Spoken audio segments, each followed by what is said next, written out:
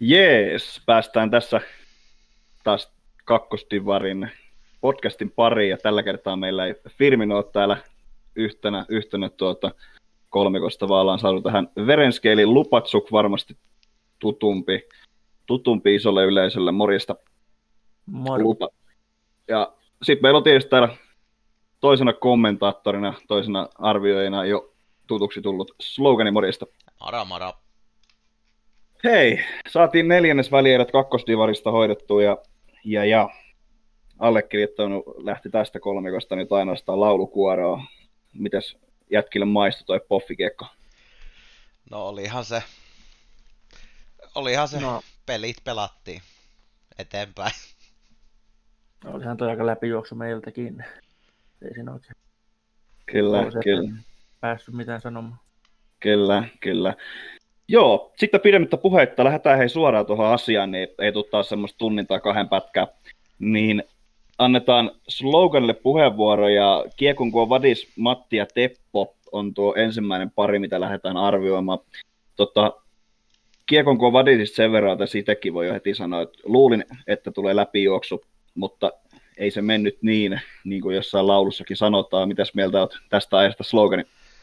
Joo, aika lailla samat, samat mietteet kyllä, että, että se nyt oli yksi noista varmimmista sarjoista, mitä, mitä ennakkoa ajattelin, että tämä on 3-0 läpsyttely Kiekon Kuovadikselle ja puoliväli eri, mutta toisin kävi, että Narilla oma antoi kovan, kovan vastuksen siellä kyllä ja 3-2 vasta Kuovadis pääsi pääs sieltä tuota painamaan jatkoon, mutta semmoista villiä huhua kuuli, että Rekku olisi pelannut hyökkääjänä joitain pelejä tuosta sarjasta lopusta ja siellä olisi Börje ollut alempana puolustajana, niin jännä nähdä, että miten, vieläkö, vieläkö Rekku jatkaa hyökkääjänä vai hyppääkö tota alemman puolustajan leipä paikalleen niin sanotusti, että se on kuitenkin Rekullakin löytyy liikasta ja liikasta kuin liikasta tuolta puolustuspäästä kokemusta, niin tota, varmasti pystyy ehkä, ehkä enemmän auttamaan joukkuetta siellä omassa päässä, vaikka ihan taitava kaverin maalejakin tekemään sen, sen tien, mutta parhaat avut varmasti kuitenkin siellä alapäässä, alapäästä löytyy tältä kaverilta. Ja sitten Kyllä. tietenkin tota, eipä tuota nyt oikein voi tuota Markku Veetäkään tuosta unohtaa. Eli Shediä paremmin tunnettu. On semmonen Helmis Raimo-tyyppinen kaveri. Tykkää jakaa niitä järjettömiä lättyjä, mitkä lentelee kaikkien vastustajien yli. Että tässä nyt on ehkä isoin kysymysmerkki tässä sarjassa on varmasti se, että saako Matti ja Teppo, saako poikien puolustus pidettyä Shedin lätyt kurissa ja tekeekö Kiekon Kuovadiksen hyökkäjät sit maaleja noista Shedin syötöistä. Et se, se varmaan mun mielestä aika lailla, aika lailla sitten määrittelee, että miten tässä sarjassa tulee käymään. Tuliko sloganilla seurattua, kuinka paljon Matti ja Teppo otteita tuossa neljännes välierässä? No ei hirveästi tullut. Et sen, mitä nyt katoin, niin just, just tota, toi, toi neljännes välierät, että miten siellä pelattiin, niin aika oletettu, oletettu lopputulos 4-1, 4-1, 2-6 voitot HCBstä niin sanotusti rutiinilla, rutiinilla jatkoon. Et on, harkkapelejä on kyllä pelannut heitä vastaan ja tiedän, että on, on kovaa, kovaa sälliä vanhaa konkaria pelaamassa. Et ei voi, ei voi aliarvioida varmasti yksikään joukkue tässä, tässä sarjassa heidän peliä, mutta Lupatsukki varmasti osaa omasta joukkueestaan enemmän kertoa. Kyllä. No joo.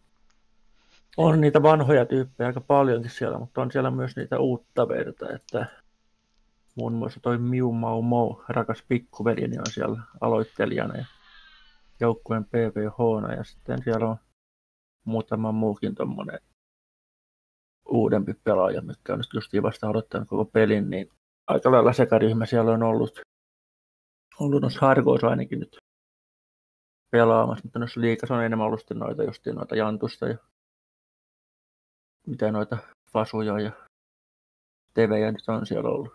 En itsekään ole niin tarkkaan seurannut omaakaan joukkuetta, mutta laaja kokoonpano ja hyviä ja kokeneita pelaajia siellä on paljon. Kyllä, kyllä. Nyt tuli itselle ainakin ihan täysin uutta juttua. Onko, onko tosiaan niin, että Miuma Mou on sun veli? On, No niin. Siinä pelasit veljekset samassa joukkueessa. kyllä. Kyllä vai. mulla tuli, mitä nyt sen, sen lisäksi, että eilen sloganin kanssa tuossa tota, selosteltiin noita liigapelejä sekä ykköstivaria, niin, niin, niin tuli sitten katsottua jonkun verran nimenomaan juurikin tätä sarjaa, missä Kiekon kuo Vadis pelasi, koska, koska siinä oli kyseessä myöskin se, että saako, saako tuota, Dyeri tukkapölyä, tukkapölyä vai pääseekö kuivin jaloin seuraavalle kierrokselle. Ja Matti ja Pompele taisin katsoa vissi yhden, yhden pelin, pelin siinä. Ja se oli niin, niin kuin tuossa sloganikin sanoi, niin aika rutiini omasta suorittamista se oli, että olisi voinut tulla paljon enemmänkin maaleja siinä, siinä sarjassa vielä kuin mitä tuossa nyt nähtiin. Mites tota, öö, lupa, niin, niin, niin. miten sä näet, että kuinka tässä sarjassa tulee käymään teillä, teillä ja Kiekon Vadiksella? No runkosarjassa kun pelattiin, niin toinen päättyi tasan, tai no jatkoja hävittiin ja toinen hävittiin sitten 5-4 viime ajan, viimeisen sekunnin maalilla muistaakseni, mutta sitäkin johdettiin se 3-0, että siinä ja siinä, että saatan ehkä hieman niin runkosarjassa olla niskan päällä, mutta meillä oli niin vaihtuva kokoonpano noissa peleissä, että jos me päästään sillä ykköskokoonpanolla pelaamaan, niin veikkaisin, että meidän pitäisi kyllä voittaa tuo sarja, mutta kyllä Kuova olisi yhden voiton meiltä ottaa veikka. Joo, eli onko näin, että 3-1 on sun, tai 1-3 on sun tota, on joo. veikkaus. Se on meillä sen verran kokenut ja hyvä jengi on, että jos ykköset päällä mennään, niin kyllä se Sedikin sieltä lähtee laulukuoroon. No niin, no niin, loistava. Mites, onko Verenski myöskin, myöskin tota, ihan aloituskokoonpanossa tuossa seuraavassa, seuraavassa tota sarjassa? Öö, päävastuuhenkilö kielsi kommentoimasta tätä asiaa. Okei, okay, okei. Okay. Mennään sitten vasta pelipäivällä kokoonpanojen yes. julkistaminen. Kyllä, kyllä.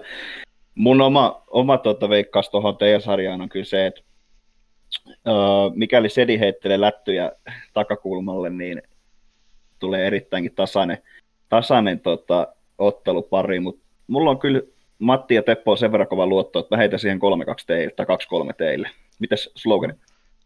Mä oon se eri, erilainen nuori taas tässä. Mä, mä sanon, että kun Vadis menee 3-2 jatkoon. Kova, kova tasainen pitkä sarja pelataan, pelataan mutta kyllä mä jotenkin mä luulen, että Kuovadis tosta herää, herää vielä tuosta ekasta sarjasta. Tota, se, se, oli niin hankala, niin tota, mä luulen, että pojat herää ja mä, mä uskon, että 3-2 menee Kuovadis jatkoon tästä. All right, all right. Mennään, mennään näillä eteenpäin tuosta, tuosta kaksi, kaksi kosta ja siirrytään sitten seuraavaksi tuonne Kölner Haie ja FC Kiviniemi. Kiviniemi pariin. Sehän löytyy tuolta mun papereista ja mitä nyt itse tuossa kerkesin vissiin yhden pelin katsoa, katsoa tuota teidän sarjaa ja öö, no, miten sitä nyt voi sen kummemmin taas sitten lähteä kommentoimaan, kun et jätkät juoksi yli ja näytti vielä siltä, että mentiin ehkä pikkusen puolivaloillakin jopa. Et mikäli sama tahti jatkuu, niin mun papereissa saattaa tulla Kiviniemelle sitten taas noissa puolivälierissä niin aika kylmää kyytiä, vaikka sieltä löytyy Kiviniemeltäkin suhteellisen kova toi totta, rosteri. Ää, Kiviniemellähän kuitenkin oli tuossa battalionia vastaan yllättävänkin tiukkoja pelejä, vaikka battalionilta puuttuu sieltä, sieltä tota, Jela mutta, mutta en, mä, en, mä en pysty näkemään tätä mitenkään muuten päin muuta kuin se, että Kölner Haie juoksee tästä, tästä niin kuin omassa paperini vaskassa jatkoa ihan miten päin tahansa tätä asiaa katteli. Mites slogani? Sulla on varmaan jonkunnäköinen pikku, pikku tota, haisu kans tästä teidän sarjasta, että mitä tulee tapahtumaan.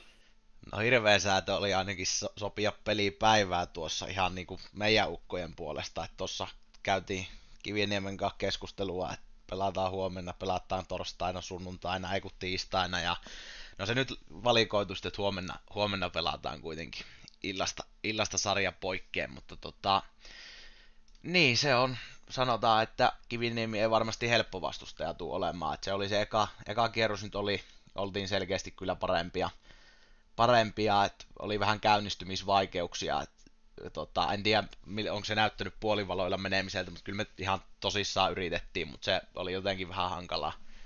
Vähän hankalaa oli saada koneita käyntiin, mutta oli siinä kuitenkin selkeä tasoero vielä tossa, mutta nyt on taas sitten vielä ihan, ihan eri luokan tota, vastustaja toki vastassa, että niin kuin sanoitkin, niin on, on kokenut nippu, nippu Kiviniemelle ja nyt ei sitten enää ainakaan voi lähteä yhtään rotsia auki niin sanotusti pelaamaan. Että kyllä tos, tota, varmasti hyvät väännöt saadaan, mutta pakkohan mun nyt on omiin luottaa ja ei mun, ei mun missään vaiheessa ole se ollutkaan, että ei, ei jatkoon mentäisi, mutta kyllä mä, kyllä mä uskon, että me se harjataan, mutta varmasti ihan eri tason sarja tulee olemaan tämä joku ensimmäinen meidän playoffisarja. Kyllä, kyllä. Onko sulla joku semmoinen pelaaja tuolta Kiviniemestä, keille heidät semmoisen niin sanotusti vartiolapun rintaan, ketä, ketä pitää pitää niin kuin erityisesti silmällä vai mennäänkö ihan koko joukkue? No eiköhän siellä varmaan tuo Set Maradona kaksikko ole. Siinä on molemmat pojat kuitenkin ihan kovia maalinsylkijöitä, että et saa nyt nähdä, pitää ton Dick Steelin kanssa vähän jutella, että kumpi ottaa kummanko vartiointiin, mutta tota, siinä varmasti, kun, jos ne saadaan laitettua aisoihin, niin ei varmasti mitään ongelmia, ongelmia tule olemaan, mutta tiedän, että molemmat on taitavia, taitavia kavereita kovia tekemään maaleja, niin ne pitää saada pelattua poikkeen. Kyllä, ei varmaan kokoonpano muutoksia todennä- todennäköisesti ei tule tähänkään sarjaan. Joo, ei, kyllä me, me mennään samoilla. Voittavalla kyllä. kokoonpanolla, niin ei, ei viiti lähteä vaihtamaan kesken kauden. Kyllä. Mitäs lupa, lupatsukki, onko sulla tähän jotakin, jotakin tota, tipsiä no, tai mielipidettä johonkin? Jos paperilla pitäisi ennen kautta katsoa näitä joukkueita, niin kyllä mä niin Kiviniemen olisin silloin laittanut vielä niin kuin Kölneri edelle. Jos Kölnerit on paukuttanut playereista yhdeksän maalia per peli, niin joko siellä on kiekon kermalla niin kuin maalivahti ollut kokonaan pois pelistä, tai sitten vaan ne osaa tehdä näitä maalia niin hyvin, että öö, tiukka tästä sarjasta silti tulee, mutta veikkaan, että jos Setillä ja Maradonalla toi pääkoppa kestää, niin ne jopa voi kaidata tästä voitoa. Mä veikkaan, että Kivinimi ottaa tästä yllätyksen ja 3-2 sarjan vie kotiin. No niin, no niin. Itse heitän kanssa tota, Kölnerille tämän 3-1. Mitäs slogani saat heittää tähän vielä? No oman veikkaan? Mä sanoin, että 3-0 Kölner jatkoo. Aina pakko vetää vähän kotiin päin. En tiedä, onko miten realistinen, realistinen ajatus, mutta mennään, mennään omien joukkoon, niin ei tarvi, ei tarvi saunaillassa sitten olla saunaklonkkuna meikänkään. Niin, niin, kyllä, kyllä. Ei tarvi olla tuota, tuota, sammakko prinssille siellä. Joo, ei. All right. Hei, jatketaan siitä suoraan eteenpäin. Niin Oksanen TTV ja Tievs ottelupari. Sehän löytyy taas sitten puolestaan se sloganin, sloganin tuota, papereista. Itse voin tähän alkuun heittää sen verran, että Oksanen TTVtä vastaan oli, oli jopa yllättävän, yllättävän tasainen sarja meillä. Mitä mieltä itse olet tästä slogani? No sama, samaa mieltä, että tuohon kirjoittelinkin itselleni ylös. Varsinkin se ensimmäinen peli, minkä te voititte. Paljonko se nyt oli 4-1, 5-2, mitä se olikaan, mutta voititte kuitenkin, niin sanotaan, että kyllä siinä katsomossa jo vähän poikien kanssa mietittiin, että niinkö, niinkö se Oksasen matka sitten loppuukin nyt ekalla kierroksella jo, että mutta tota, et oli, oli kyllä yllättävän, yllättävänkin tasainen sarja. Toki varmasti vaikuttaa, vaikuttaa siihen, että siellä ei ollut, ei ollut Aksu, ei ollut Stemi pelaamassa, mutta ei sen puoleen alakerran herrana toimi pastori ja hyvin hoiti tonttisa, hyvin hoiti tonttisa, että aika paljon ylivoimahyökkäyksiä tuli, tuli että siinä vähän puolustus meinas Oksasen pojilta unohtaa, mutta kyllä mä sanoin, että tähän ottelusarjaan nyt Oksanen vastaan Thieves, niin isoin kysymysmerkki tuolta Oksen puolelta on, että, että tota, pukeeko Aksu ja Stemi näihin karkeloihin jo kamppeet päälle vai jäikö, jäikö poikien viimeisetkin peliilot tuonne Naantalin yöhön. Tiedä sitä, selviää varmasti tällä viikolla. Mm, kyllä. Joo, ihan samaa mieltä itsekin siitä, että, että tota, ensimmäinen peli oli meillä Oksasia vastaan, se oli ihan ok, ehkä jopa parasta meidän suorittamista tällä kaudella, mutta sitten siinä en tiedä mitä tapahtui, todennäköisesti se, että meillä oli ihan pikkusen ton tuota, maalinteon kanssa ongelmia siinä, siinä tota, oksasta vastaan. Et tuntuu aina välillä siltä, että ihan sama mistä vedät ja kuinka hyvän laukauksen tahansa, niin se johonkin se jää aina. Ja loppujen lopuksi jäädä sitten kuitenkin, kuitenkin oksasilla toi pastori, niin pelasahan se nyt ihan jäätävää, jäätävää peliä siellä omassa alakerrassa, että siinä viimeisessäkin pelissä niin saatiin varmaan 23 ykköstä tai 2 ykköstä ja yhdestäkään ei taida tähän maalia, että kaveri, kaveri kyllä veti, veti aina pidemmän korre.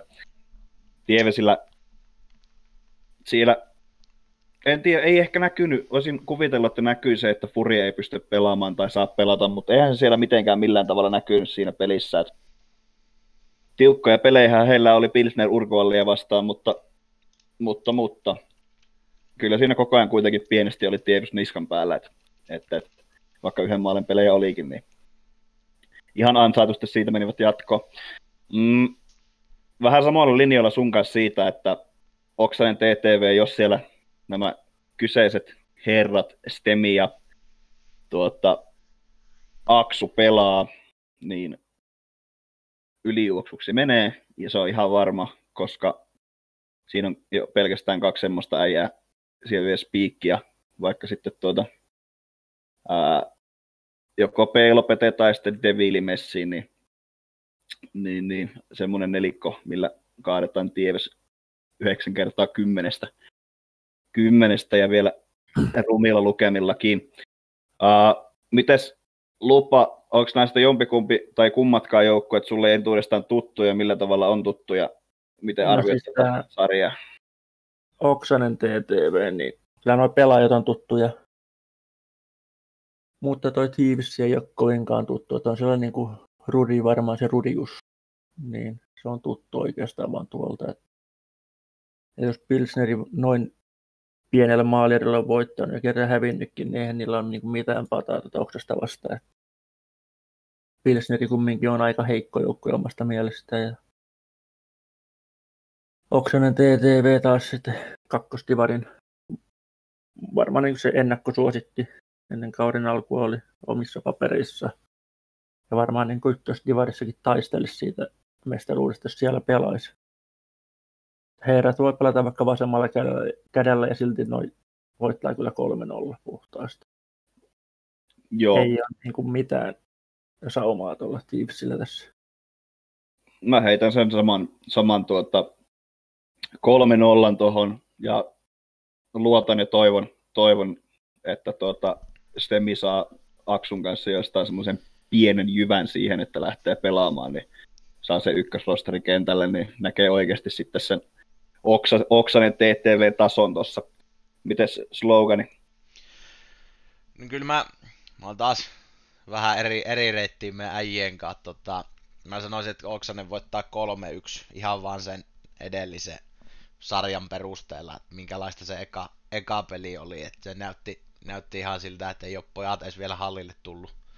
Hallille vielä tullut, kun tuota, sarja, sarja oli jo 1-0 Speddydogejen johossa, mutta tota, mä luulen, että siellä taas lämmitellään, läpsytellään eka peli, Teamsi voittaa sen ja sen jälkeen otetaan kolme, kolme rumaa maalista voittoa sen jälkeen. 3-1 Oksanen jatko. Kyllä. Jees. Sitten päästään tuohon viimeisen pariin, eli Ylämummo Frölunda. Sehän löytyy mun papereista. Ja Ylämummo, oma, oma sarjansa, niin vaikka on runkosarjassa ollutkin hieman ehkä jopa ylivoimainen kaikkiin muihin nähen, niin ei tämä nyt sitten ihan niin ylivoimasta ollutkaan taas puolestaan Adelaide vastaan. Adelaide pisti ihan kunnolla kampoihin ja hän meni Game 5 sekin sarja niin kuin aika moni sarja tässä, tässä itse asiassa kakkosdivarissakin meni, tai aika harva ainakin päättyi 3-0. Ja tota, siellä on tiukkoja pelejä ollut, mutta niin on myöskin sitten menty taas, silloin kun Ylämummo on voittanut, niin sitten on menty kaksi kertaa kolmesta niin käveille yli, eli 6-2 ja 7-0 on ne niin ylikävelit ja 2-1 voitto on sitten ollut se siitä välistä. välistä.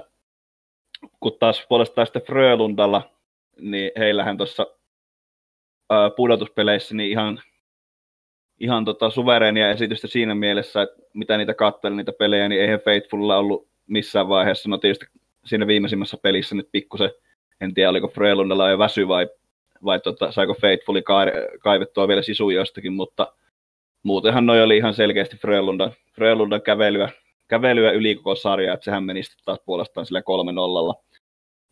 3-0 Frölundalle. Mm.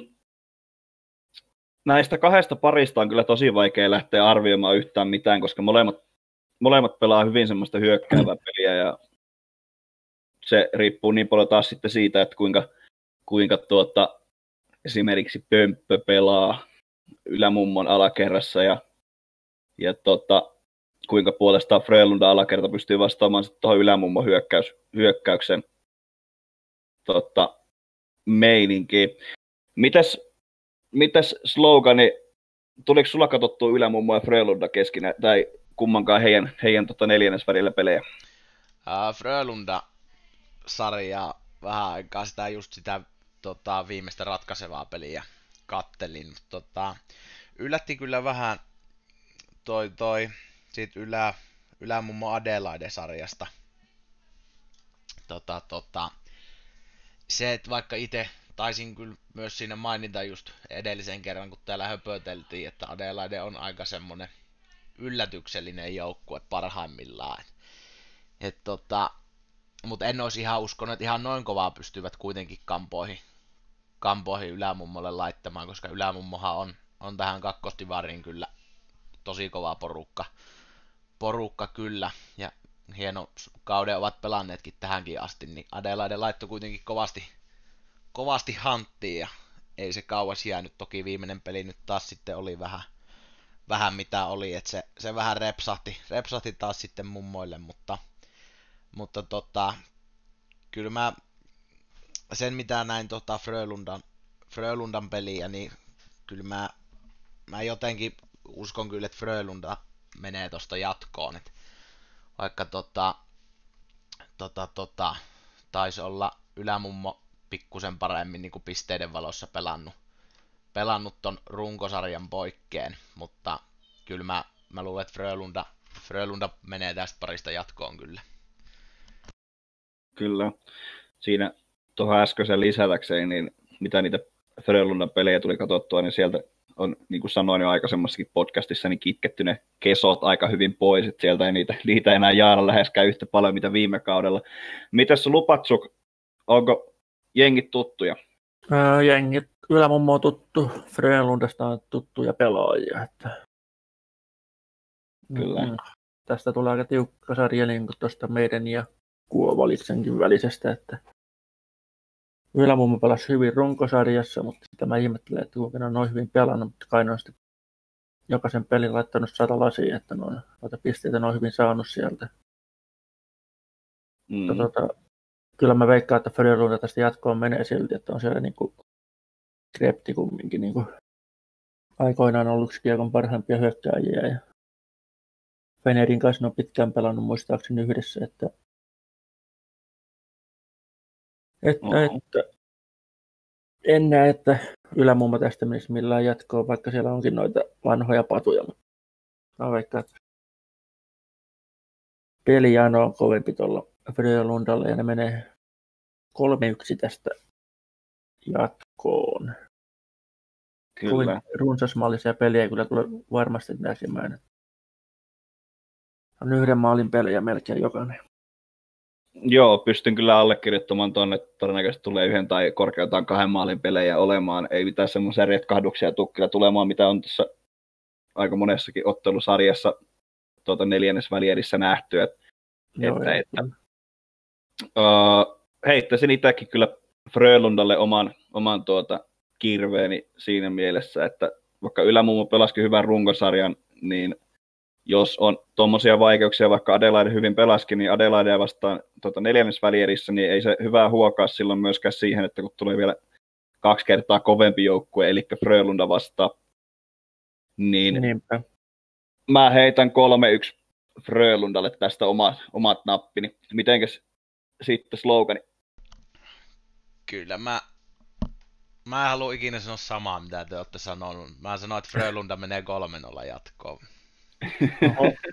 tasaisia matseja, mutta, mutta tota, Frölunda kairaa, kairaa ekasta kolmesta pelistä voitot ja jatkaa, jatkaa sitten välieriin. Ja tota, ylämummo lähtee sitten kahville paikalliselle shellille. Kyllä. Heitetäänpäs tähän hei vielä loppuun tämmöinen arvio tai veikkaus, että kuka tulee voittamaan tuota, kakkostivarin öö, pistepörssin tuossa Popseissa? No aloita sä vaikka. No, mulla on aika helppo, helppo heittää tähän, tähän tota, että se löytyy sieltä teidän, teidän rosterista se voittaja, RST. Kyllä. Olisin sanonut aivan samaa. RST voittaa, se on kol- niin, no toki nyt oli isomaalisia pelejä. Kolmen pelin 25 pistettä, se on aika paljon. Mutta tota, kyllä mä, kyllä mä kans luotan, että RST kairaa. Mä taas veikkaan, että Oksanen TTVstä Peelo Pete jokerikorttina sieltä Mhm. voittaa, koska ne menee aina finaaliin meitä vastaan. Sitten tulee siellä vastaan, niin ne saa vähän niitä pelejä enemmän, mutta toisin kuin toi Kölneri Haije. Se on toi Pete tai sitten meiltä se Miu Mau Mou, joka se voittaa. Niiden välillä tulee aika tiukkaa varmaan olemaan. Kyllä.